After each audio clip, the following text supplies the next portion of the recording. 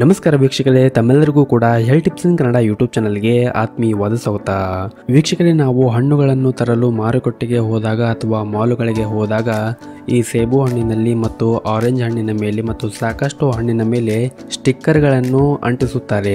ಆದರೆ ನಾವು ಇದರ ಬಗ್ಗೆ ಜಾಸ್ತಿ ತಲೆ ಕೆಡಿಸಿಕೊಳ್ಳದೆ ಆ ಹಣ್ಣನ್ನು ಮನೆಗೆ ತಂದು ಸ್ಟಿಕ್ಕರನ್ನು ಕಿತ್ತು ಆ ಹಣ್ಣನ್ನು ಚೆನ್ನಾಗಿ ತೊಳೆದು ತಿಂದುಬಿಡುತ್ತೇವೆ. ಆದರೆ ಈ ರೀತಿಯಾಗಿ ಸ್ಟಿಕ್ಕರ್ಗಳನ್ನು ಈ ಹಣ್ಣಿನ ಮೇಲೆ ಯಾಕೆ ಹಾಕುತ್ತಾರೆ ಅಂತ ನಾವು ಯೋಚನೆ ಕೂಡ ಮಾಡುವುದಿಲ್ಲ. ಆದರೆ ವೀಕ್ಷಕರೇ, ಈ ಹಣ್ಣಿನ ಮೇಲಿರುವಂತಹ ಸ್ಟಿಕ್ಕರ್ ಕೋಡ್ಗಳ ಬಗ್ಗೆ ಪ್ರತಿಯೊಬ್ಬರೂ ಕೂಡ ಮಾಹಿತಿಯನ್ನು ತಿಳಿದುಕೊಳ್ಳುವುದು ತುಂಬಾನೇ ಅವಶ್ಯಕವಾಗಿರುತ್ತದೆ. ಯಾಕಂದ್ರೆ, ಈ ಹಣ್ಣಿನ ಮೇಲಿರುವಂತಹ ಸ್ಟಿಕ್ಕರ್ ಮೇಲೆ ಇರುವಂತಹ ನಂಬರ್ಗಳು ಆ ಹಣ್ಣನ್ನು ಯಾವ ರೀತಿಯಾಗಿ ಬೆಳೆದಿರುತ್ತಾರೆ ಅಂತ ಮಾಹಿತಿಯನ್ನು ನೀಡುತ್ತದೆ. ಅಂದ್ರೆ, ಆ ಹಣ್ಣನ್ನು ಆರ್ಗ್ಯಾನಿಕ್ ಆಗಿ ಬೆಳೆದಿದ್ದಾರಾ ಅಥವಾ ಕೆಮಿಕಲ್ಗಳನ್ನು ಹಾಕಿ ಬೆಳೆದಿದ್ದಾರಾ ಅಂತ ತಿಳಿಸಿಕೊಡುತ್ತದೆ.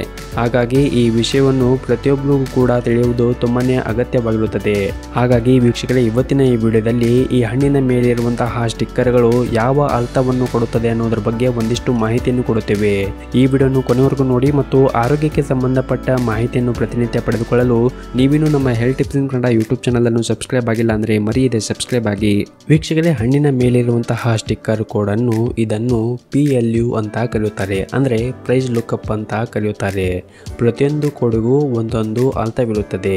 ಉದಾಹರಣೆಗೆ, ನೀವು ತೆಗೆದುಕೊಳ್ಳುವಂತಹ ಹಣ್ಣಿನ ಮೇಲೆ ಮೂರು ಅಥವಾ ನಾಲ್ಕು ನಂಬರಿಂದ ಶುರುವಾಗಿ ನಾಲ್ಕು ಡಿಜಿಟಲ್ ಕೋಡನ್ನು ಆ ಹಣ್ಣು ಹೊಂದಿದ್ದರೆ ಈ ಹಣ್ಣನ್ನು ಬೆಳೆಯುವಾಗ ರಾಸಾಯನಿಕ ಅಥವಾ ಕೀಟನಾಶಕಗಳನ್ನು ಹಾಕಿ ಬೆಳೆಸುತ್ತಾರೆ ಅಂತ ಅರ್ಥ ಕೊಡುತ್ತದೆ. ಇಂತಹ ಹಣ್ಣು ನೋಡುವುದಕ್ಕೆ ತುಂಬಾನೇ ಕಲರ್ಫುಲ್ ಆಗಿರುತ್ತದೆ ಮತ್ತು ಶೈನಿಂಗ್ ಕೂಡ ಇರುತ್ತದೆ.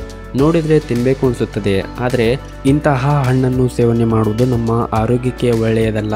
ಯಾಕಂದರೆ ಇದರ ಮೇಲೆ ರಾಸಾಯನಿಕಗಳನ್ನು ಸಿಂಪಡಿಸುತ್ತಾರೆ ಮತ್ತು ಕೀಟನಾಶಕಗಳನ್ನು ಹಾಕಿ ಬೆಳೆಸುತ್ತಾರೆ. ಇಂತಹ ಹಣ್ಣನ್ನು ಸೇವನೆ ಮಾಡದೇ ಇದ್ದರೆ ಒಳ್ಳೆಯದು. ಇನ್ನು ಎಂಟು ನಂಬರಿಂದ ಶುರುವಾಗಿ ಐದು ಅಂಕಿಗಳ ಡಿಜಿಟಲ್ ಕೋಡ್ ಇದ್ದರೆ ಆ ಹಣ್ಣನ್ನು ಜೆನೆಟಿಕ್ ಆಗಿ ಮೋಡಿಫೈ ಮಾಡಿ ಬೆಳೆದಿರುತ್ತಾರೆ. ಇಂತಹ ಹಣ್ಣು ಕೂಡ ಸೇವನೆ ಮಾಡುವುದು ನಮ್ಮ ಆರೋಗ್ಯಕ್ಕೆ ಅಷ್ಟೊಂದೇನು ಒಳ್ಳೆಯದಲ್ಲ. ಇನ್ನು ನೀವು ತೆಗೆದುಕೊಳ್ಳುವಂತಹ ಹಣ್ಣಿನ ಮೇಲೆ ಐದು ಅಂಕಿಗಳಿದ್ದು, ಆ ಅಂಕಿ ಒಂಬತ್ತರಿಂದ ಆರಂಭವಾಗಿದ್ದರೆ ಆ ಹಣ್ಣು ಸಂಪೂರ್ಣವಾಗಿ ಆರ್ಗ್ಯಾನಿಕ್ ಆಗಿ ಬೆಳೆದಿರುತ್ತಾರೆ. ಈ ಹಣ್ಣನ್ನು ನೀವು ಯಾವುದೇ ರೀತಿಯಾಗಿ ಭಯಪಡದೆ ಸೇವನೆ ಮಾಡಬಹುದು. ಆದರೆ ಈ ಹಣ್ಣು ಮಾರುಕಟ್ಟೆಯಲ್ಲಿ ಸ್ವಲ್ಪ ಬೆಲೆ ಜಾಸ್ತಿ ಇರುತ್ತದೆ. ಆರ್ಗ್ಯಾನಿಕ್ ಪದ್ಧತಿಯಲ್ಲಿ ಬೆಳೆದಿರುವಂತಹ ಹಣ್ಣನ್ನು ಸೇವನೆ ಮಾಡೋದ್ರಿಂದ ನಮ್ಮ ಆರೋಗ್ಯಕ್ಕೂ ಕೂಡ ಒಳ್ಳೆಯದು ಮತ್ತು ಒಳ್ಳೆಯ ಪೌಷ್ಟಿಕಾಂಶಗಳನ್ನು ಕೂಡ ಇದು ಒದಗಿಸುತ್ತದೆ. ಹಾಗೆಯೇ ಒಳ್ಳೆಯ ಗುಣಮಟ್ಟದಿಂದ ಕೂಡ ಇದು ಕೂಡಿರುತ್ತದೆ.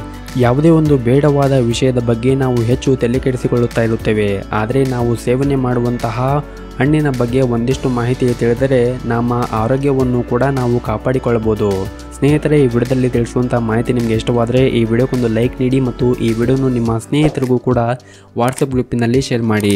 ವಿಡಿಯೋ ನೋಡಿದ್ದಕ್ಕಾಗಿ ಧನ್ಯವಾದಗಳು.